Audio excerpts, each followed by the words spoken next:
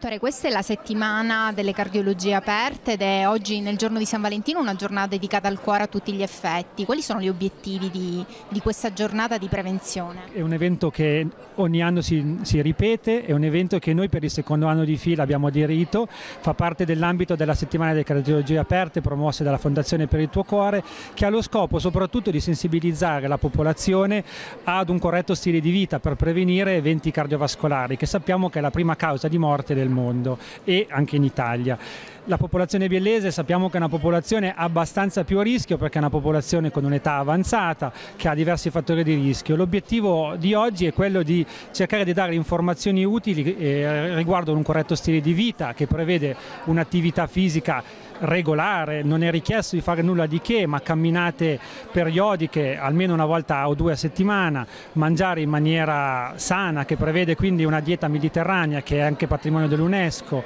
controllare la pressione che è un principale fattore di rischio, il colesterolo. Tutto questo messo insieme ha lo scopo quindi di cercare di dare informazioni utili e ribadire ancora di più una volta appunto un, eh, un percorso salutare che sarebbe bene tenere.